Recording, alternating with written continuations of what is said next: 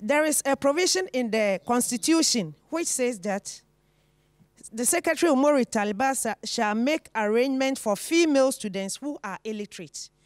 I would like uh, beloved Huzoor to share more light on students who are illiterate.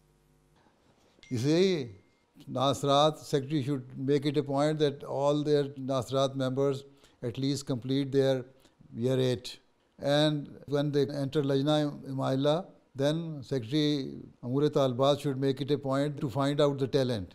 If your students are of good talent, then they should be given the opportunity to have higher education, to go to university.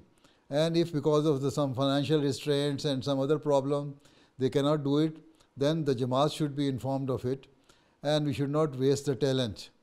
Apart from that, you should also make it a point that according to your condition, how can you improve the literacy rate? You know your situation better than me.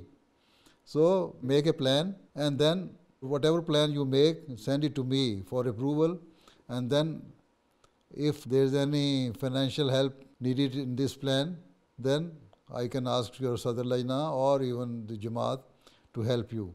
But the plan should be very much practical and try to improve the level of education of your members, right?